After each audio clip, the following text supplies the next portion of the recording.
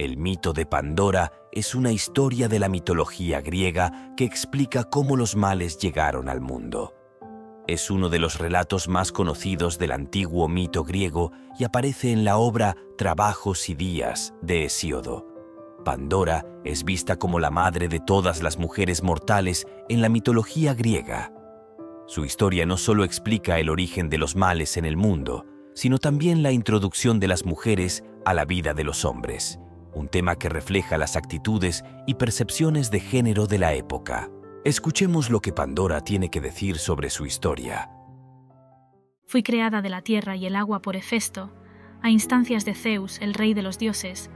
Zeus estaba furioso con Prometeo, el titán que había desafiado su voluntad y llevado el fuego a la humanidad, otorgándoles así conocimiento y progreso. En su ira Zeus ideó un castigo ingenioso tanto para la humanidad como para Prometeo. Ese castigo fui yo, Pandora. Atenea me vistió y me enseñó las habilidades domésticas.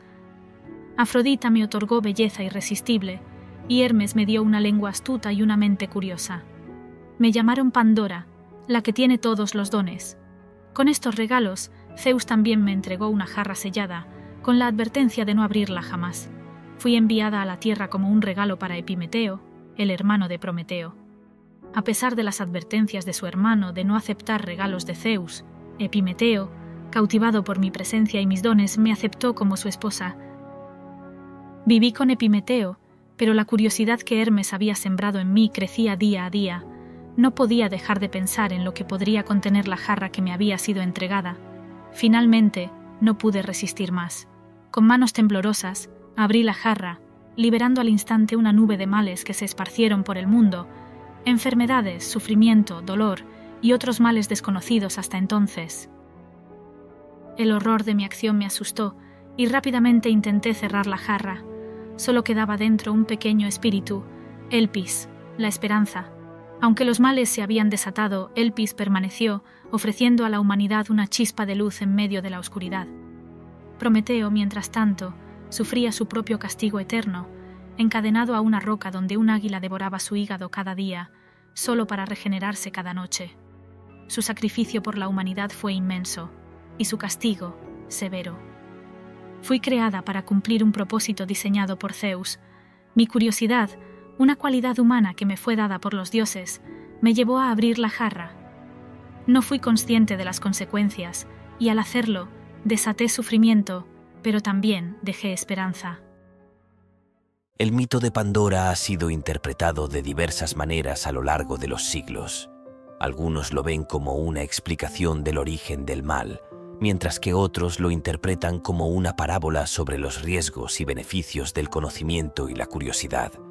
También ha sido analizado como una reflexión sobre la condición humana y la coexistencia de sufrimiento y esperanza. El hecho de que Elpis, la esperanza, permanezca en la jarra es fundamental. En medio de todas las calamidades, la esperanza es lo que permite a los humanos soportar el sufrimiento y seguir adelante. Este detalle subraya una visión dualista del mundo. Junto con los males, siempre existe la posibilidad de redención y mejora. Pandora se trata a menudo como una precursora de Eva, debido a las similitudes entre ambas figuras. Ambas son las primeras mujeres en sus respectivas tradiciones, Pandora en la mitología griega y Eva en la tradición judeocristiana. Al igual que Pandora, Eva cometió un acto de desobediencia que tuvo consecuencias profundas para la humanidad. Eva comió del fruto prohibido del árbol del conocimiento del bien y del mal, introduciendo el pecado y la mortalidad. Ambas historias exploran la curiosidad y la tentación como características intrínsecas de la naturaleza humana, centrándose directamente en la figura de la mujer. Sin embargo, también introducen esperanza y redención. En el caso de Pandora, Elpis, la esperanza, permaneció en la jarra. En el caso de Eva, aunque el pecado entró en el mundo, también lo hizo la promesa de redención a través de la fe. A través de estas historias podemos ver que la curiosidad y la búsqueda de conocimiento, aunque peligrosas, son partes esenciales de la condición humana. Estas historias nos recuerdan que, incluso en medio del sufrimiento, siempre hay un rayo de esperanza que nos guía hacia adelante.